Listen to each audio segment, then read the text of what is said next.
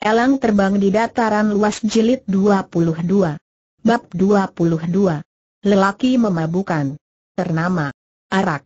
Memangnya bukan tentu saja bukan, sahut Yang Kong, malah ku sangka kau yang melakukan, Xiao Hang tambah terkesiap. Tentu saja dia pun tahu kedua orang ini bukan mati di tangannya. Jadi bukan kau kembali Yang Kong bertanya. Bukan, kalau bukan kau, bukan pula aku, siapa yang melakukan pertanyaan ini bukan mereka berdua yang mampu menjawabnya. Wajah mayat-mayat itu bersemu hitam, tampaknya mereka tewas karena keracunan, tapi siapa yang melepaskan racun? Kapan mereka diracun?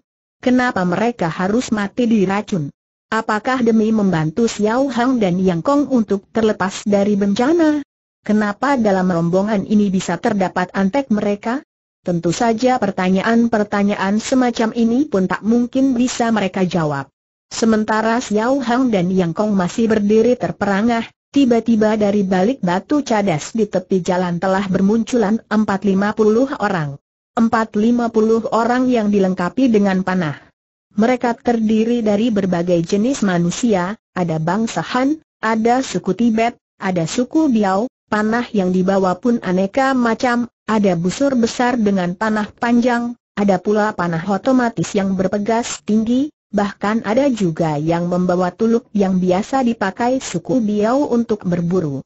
Siapa pun tak akan bisa membedakan begitu banyak jenis anak panah dalam sekali pandang, tapi siapa saja dapat melihat kalau setiap anak panah itu lebih dari cukup untuk menghabisi nyawa manusia.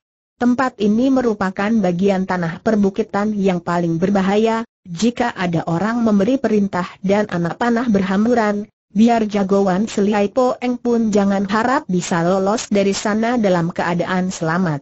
Perasaan Xiao Hang mulai tenggelam ia mengetahui akan hal itu, kesempatan hidup mereka berdua kali ini memang tidak besar. Suasana amat hening, batu hitam tiada bersuara, panah pun tidak mendesing, bahkan orang-orang itu tak ada yang bersuara, mereka seakan sedang menunggu. Tapi apa yang ditunggu? Dengan jelas Xiao Hang memperoleh jawaban atas pertanyaan ini. Rupanya mereka sedang menunggu Hoa Pula. Kini Xiao Hang telah melihat kemunculan Hoa Pula. Hoa Pula berdiri di atas sebuah batu karang yang berada di puncak paling tinggi, menggunakan sorot matanya yang dingin penuh ejekan sedang menatap mereka, seperti kucing yang sedang memperhatikan tikus di bawah cakarnya. Dia pun tahu, kali ini mereka tak bakal bisa meloloskan diri. Xiao Hang hanya bisa tertawa getir. Dia pun sama sekali tak menyangka kalau Hoa pula adalah anak buah Lusem, padahal kerja pancapanah selalu teliti dan penuh rahasia, mengapa sebelum ia berhasil mencari tahu asal-usul yang sebenarnya dari orang ini, telah mengantar mereka bergabung dengan rombongannya? Sekarang apa yang bisa kau katakan tiba-tiba tegur Hoa pula? Tidak ada kalau begitu lebih baik ikut aku pulang ke rumah, ikut tanpa melawan, pulang ke rumah?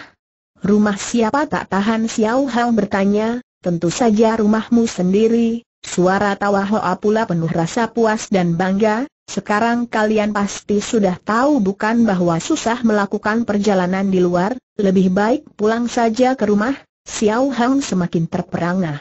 Pada hakikatnya dia tak mengerti apa yang sedang dikatakan Hoa pula, bukankah sekarang mereka sudah tak punya rumah? Xiao Hang tidak mengerti, Yang Kong pun tidak mengerti.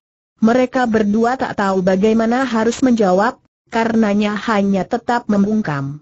Terkadang membungkam bisa diartikan mengakui, bisa dimaksudkan setuju, karena itu tawa Hoa pula makin gembira.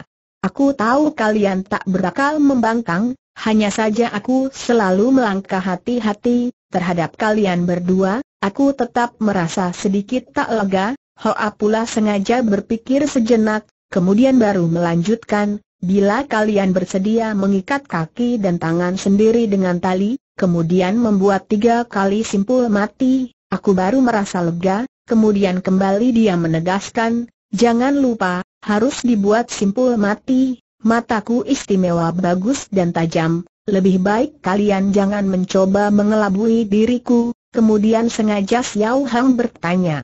Kemudian?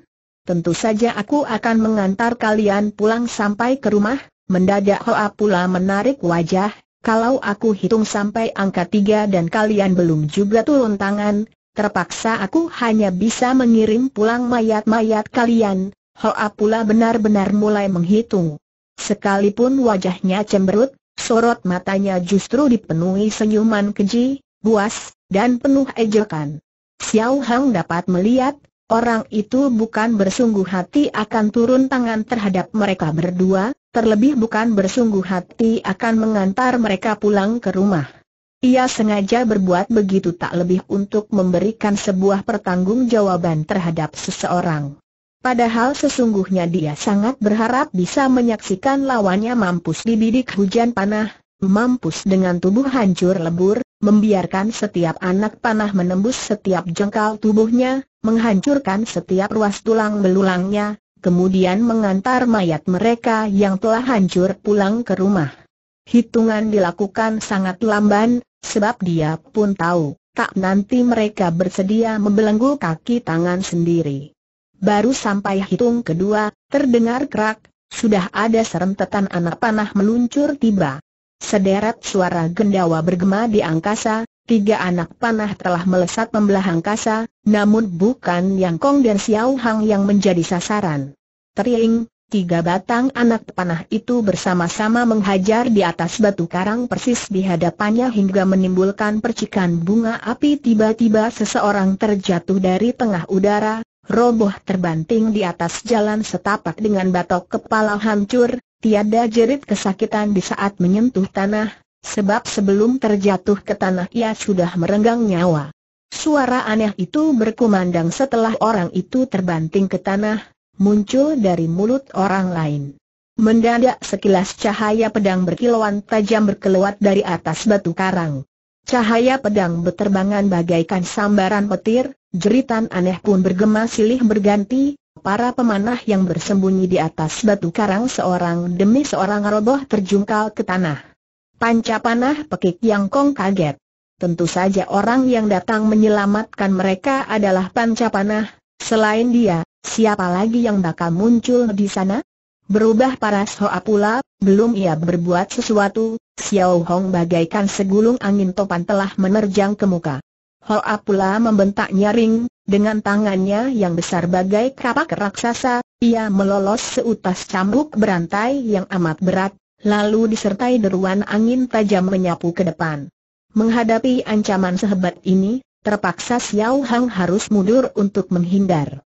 Menggunakan peluang itu, cambuk besi di tangan Hoa pula segera diayunkan berulang kali, bukan saja ia berhasil merebut posisi yang lebih menguntungkan, bahkan berhasil pula menguasai keadaan pemanah yang berada di atas batu karang tampaknya belum terbantai habis, masih terlihat anak panah berterbangan, tampaknya Yang Kong terhajar sebatang anak panah. Di saat Xiao Hang menerjang maju untuk keempat kalinya, tiba-tiba cambuk baja yang berada di tangan Hoa pula terkulai lemas, terkulai seperti seekor ular yang sudah mampus. Menyusul tampak paras Hoa pula mengejang keras, Sinar matanya yang semula berkilat tiba-tiba berubah jadi kelabu, keadaannya persis ular berbisa yang tertangkap tubuh bagian tujuh incinya. Kepalanya terkulai lemas, terkulai sambil mengawasi dada sendiri, sorot matanya yang kehuang dipenuhi perasaan ngeri, takut, kaget, dan tercengang. Xiao Hang ikut mengawasi dadanya, sinar terkejut dan keheranan pun terpancar dari balik matanya, sebab di atas dada Hoa pula tiba-tiba muncul sebuah benda yang tembus dari punggungnya. Semacam benda yang memancarkan sinar berkilauan, sebagian dari ujung pedang yang sangat tajam. Pedang itu menusuk masuk dari punggung hingga tembus di dada, sebuah tusukan pedang yang langsung menembus hulu hatinya. Tetesan darah segar masih meleleh di saat ujung pedang itu dicabut. Namun tubuh Hoa pula tidak roboh, dia masih berdiri kaku.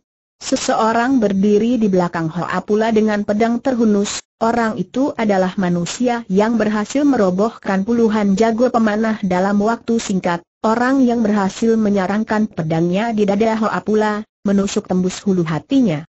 Ternyata orang itu bukan panca panah. Pedang yang berada dalam genggamannya pun ternyata pedang Mogan, si mete iblis milik Xiao Hong. Siapakah orang ini? Kecuali pancapanah, siapa yang bakal datang menyelamatkan Xiao Hong dan Yang Kong? Mengapa dalam genggaman tangan orang itu bisa muncul pedang mata iblis milik Xiao Hong? Mungkinkah Po Eng? Mungkinkah pada akhirnya Po Eng telah muncul? Sebelum melihat jelas tampang muka orang itu, Xiao Hong memang sempat berpikir demikian, pemikiran itu membuat emosinya menggelora, membuat sekujur tubuhnya gemetar keras. Sayang lagi-lagi dugaannya keliru besar. Orang itu bukan pancapanah, bukan pula poeng, tapi seseorang yang mimpi pun tak pernah diduga, seseorang yang mustahil bisa muncul untuk menyelamatkan mereka berdua.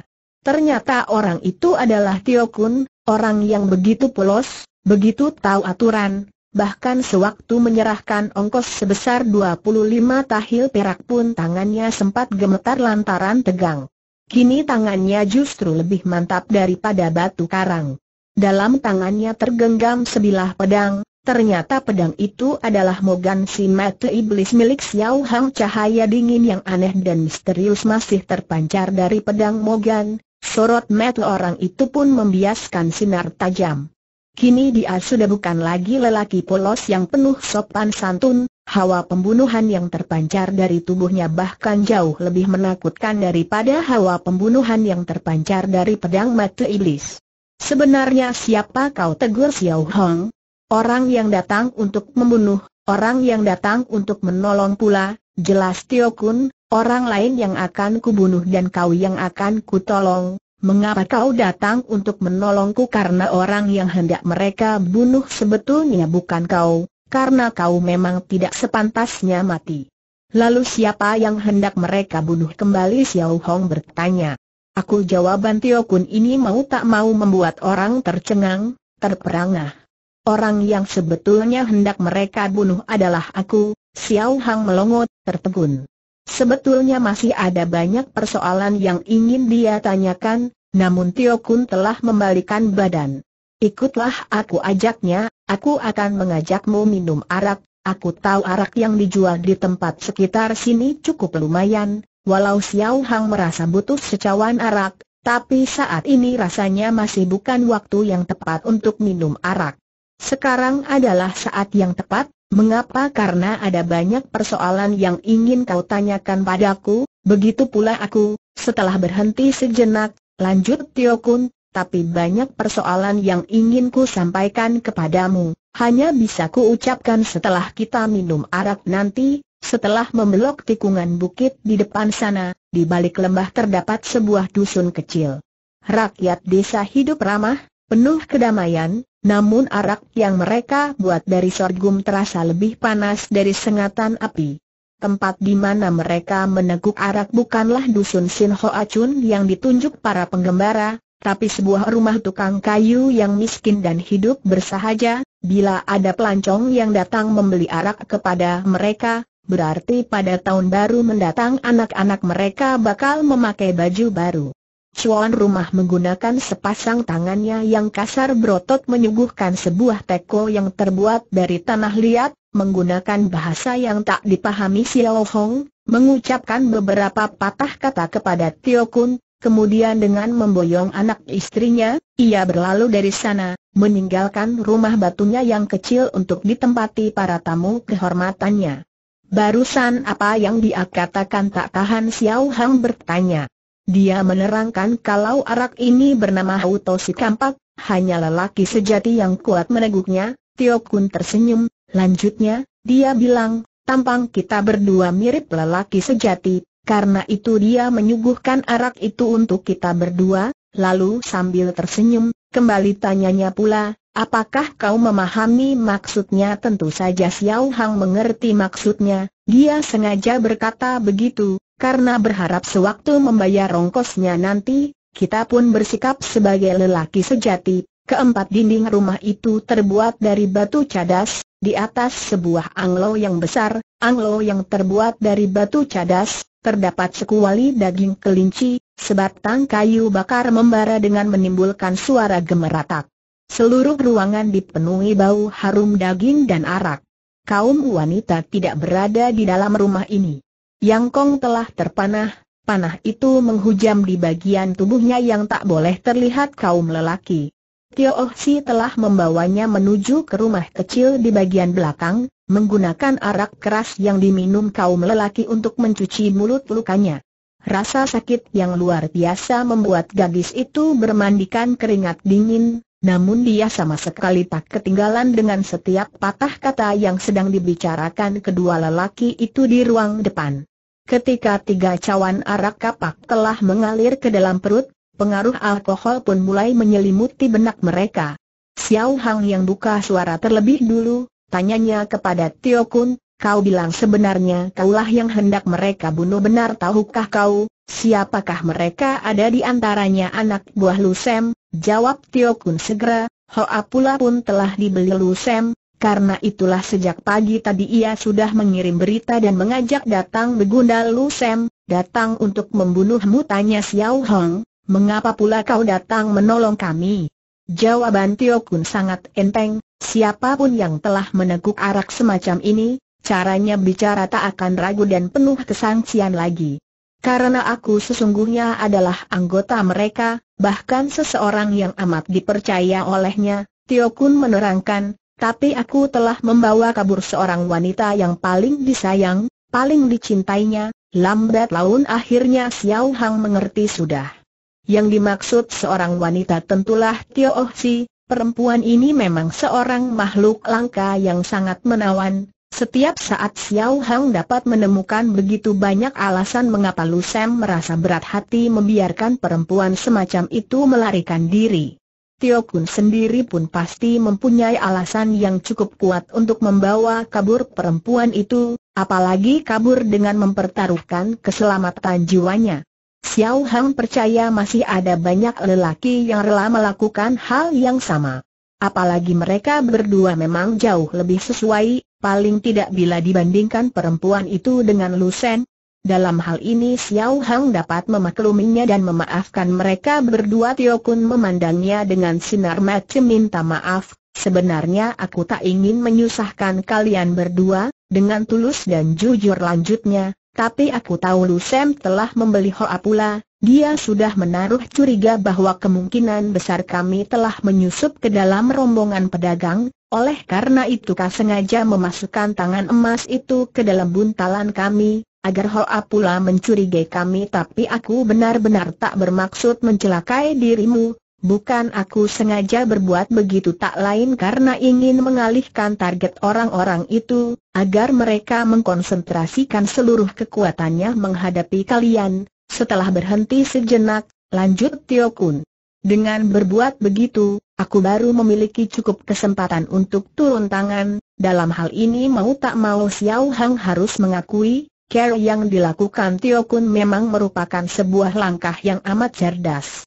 Kembali Tio Kun menerangkan, sejak permulaan aku sudah tak bermaksud mencelakai kalian, karena itulah kami telah membantumu membunuh Cetong dan Cebeng. Cetong.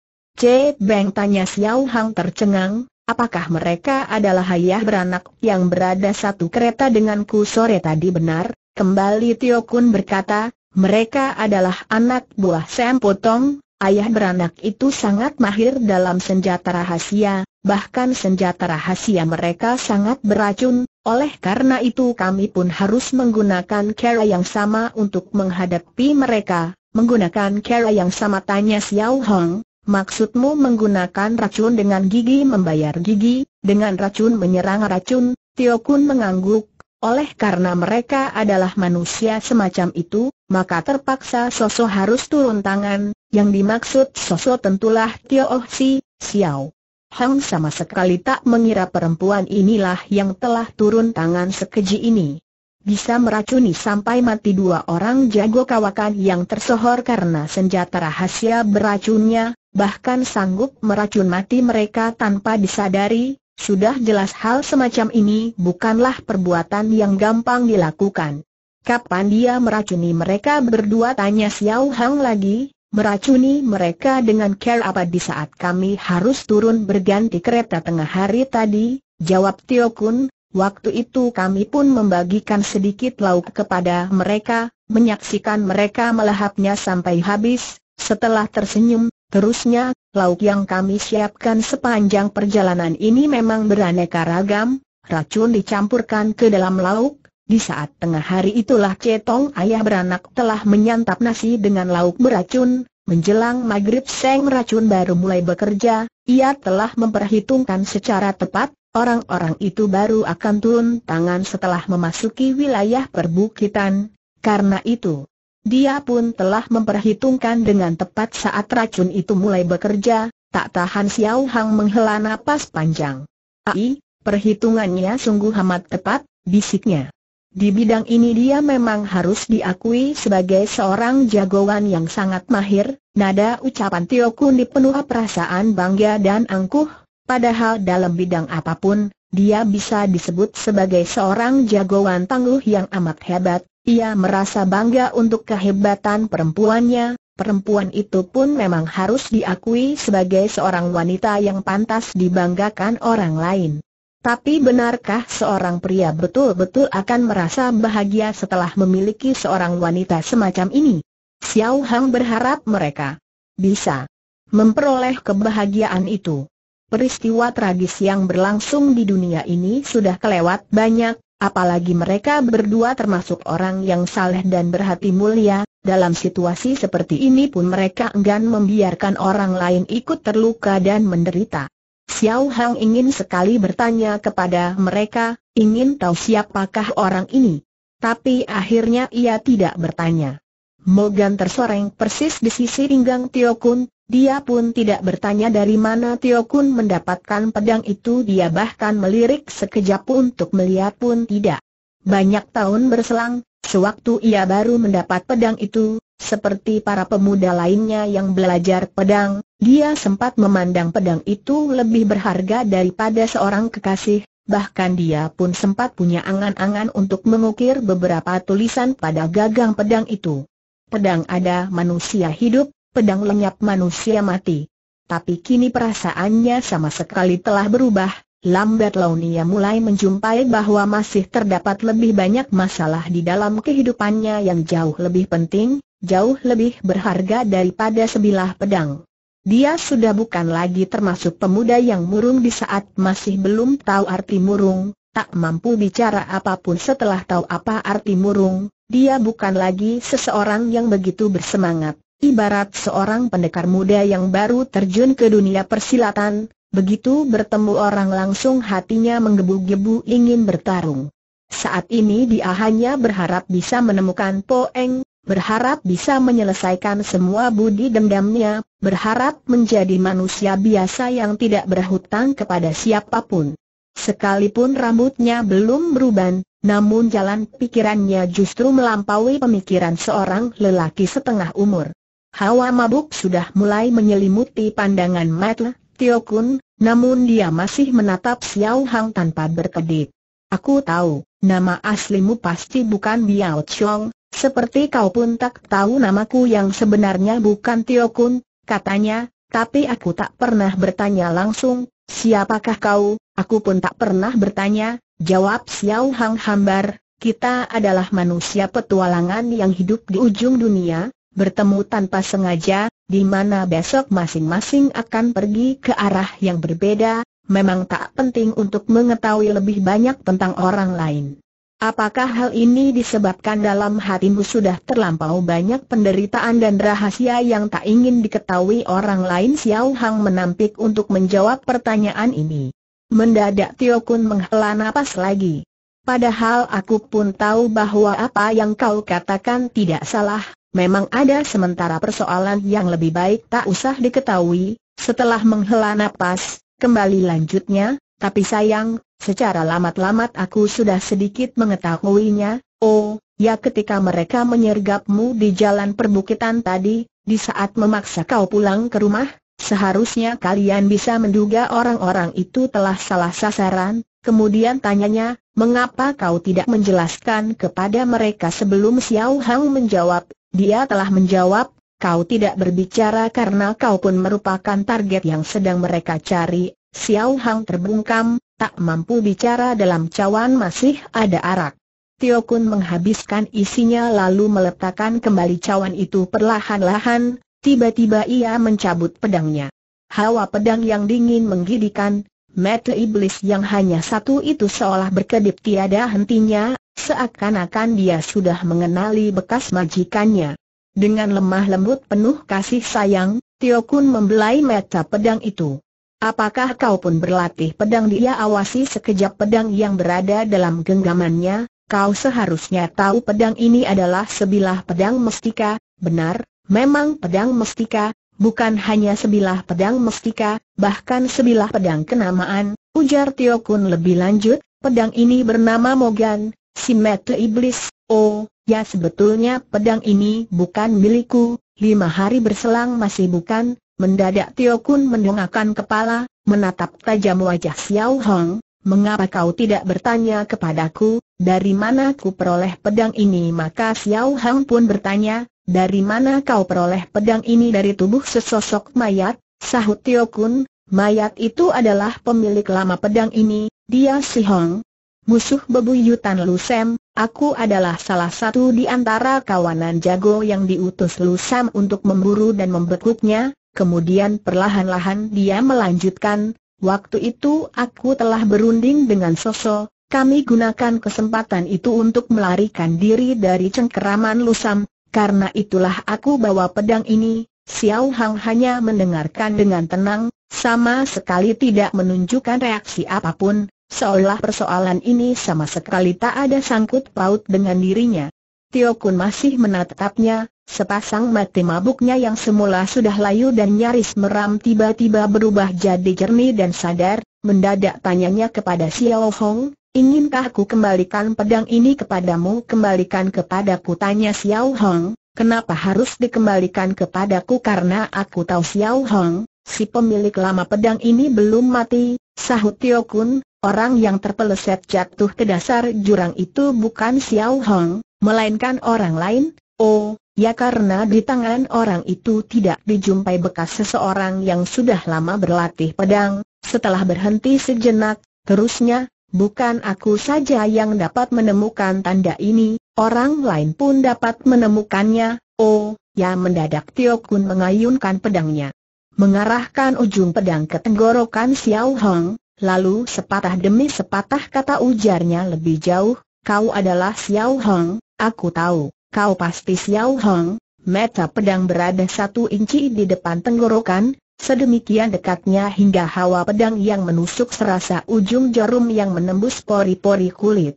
Xiao Hong masih tidak melakukan reaksi apa pun kulit wajahnya telah terbias oleh cahaya terang, sama sekali tak nampak lagi perubahan mimik mukanya. Jangankan paras, bahkan mata pun sama sekali tak berkedip. Hahaha, Ternyata kau memang seorang Hohan Puji Tio Kun tiba-tiba sambil tertawa tergelak. Ia membalik pergelangan tangan dan kering, memasukkan kembali pedang itu ke dalam sarung. Kemudian dia dari pinggangnya dia melepaskan sarung pedang dan diangsurkan ke hadapan Xiao Hang dengan kedua belah tangan. Mau kau adalah Xiao Hang atau bukan, aku tetap akan menyerahkan pedang ini kepadamu. Kenapa akhirnya Xiao Hang bertanya? Karena kau adalah seorang Hohan, jawab Tio Kun, hanya Ang Hiong Hohan macam kau yang pantas menggembol pedang ini, sikapnya tulus dan terbuka, dia benar-benar berniat menghadiahkan pedang itu untuk Xiao Hong, namun Xiao Hong sama sekali tidak menerimanya. Walaupun perasaannya sudah terhanyut oleh ketulusan dan kesetia kawanan orang ini, namun dia tetap enggan menerimanya. Mau diriku Xiao Hang atau bukan, Aku tak bisa menerima pemberian pedangmu ini, kenapa alasan Xiao Hong amat tegas, sebab bila aku adalah Xiao Hong, pedang ini pasti akan kuhadiahkan kepadamu, sekalipun kau kembalikan kepadaku, aku tetap akan memberikan lagi untukmu, kemudian ia menambahkan, buat apa kita harus saling menghadiahkan pedang ini apabila kau bukan Xiao Hong Xiao Hong segera tertawa, bila aku bukan Xiao Hong, Atas dasar apa kau menghadiahkan pedang setajam itu untuk Tio Kun ikut tertawa, kau memang manusia aneh, Anehnya setengah mati ia meletakkan pedang itu di meja, kemudian sambil mengangkat cawan arak katanya lagi, ku hormati secawan arak untukmu, Xiao Hang tidak mengangkat cawan araknya. Tiba-tiba parasnya berubah. Sewaktu ujung pedang menempel di tenggorokannya tadi, dia sama sekali tak berkedip. Tapi sekarang parasnya yang oleh rembesan cahaya terang telah berubah bentuk, seolah telah tertembus tenggorokannya oleh sebatang pedang tajam yang meski tak nampak bentuknya, namun lebih tajam daripada mogan, tertusuk telak di hulu hatinya. Karena secara tiba-tiba ia mendengar suara senandung nyanyian, lagu yang entah berapa banyak pernah diulang olehnya, seorang lelaki harus ternama. Minum arak harus mabuk. Penuturan di saat mabuk, itulah suara hati yang sesungguhnya, di balik suara nyanyian itu terkandung kedukaan seorang lelaki yang tak berdaya, penuh terkandung semangat jantan yang menggelorakan darah di dada. Suara nyanyian itu terdengar begitu sendu, khususnya di tengah kegelapan malam yang dingin, di tengah dusun terpencil nun jauh dari kehidupan. Tiba-tiba Xiao Hang membuang cawan araknya dan menerjang keluar dengan kecepatan luar biasa. Berada di mana pun, kapan pun, Terlepas apa yang sedang dia lakukan, asal mendengar suara nyanyian itu, dia akan meninggalkan segalanya dan menyerbu keluar dengan kecepatan tinggi.